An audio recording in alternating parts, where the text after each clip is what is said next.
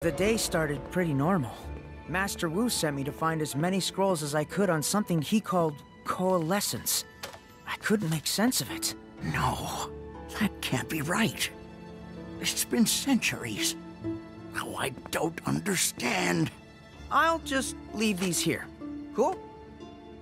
Okay, good talk. Call me if you need anything else. Lloyd, my student, my nephew. I hope you do a better job than I have when you become master of this monastery. Remember, family is key. Huh? You've been here for almost a thousand years. I could never... No, It's happening. I don't know how, but it's happening. We needed more time to prepare. What's going on here? Then I saw the beginning of the merge.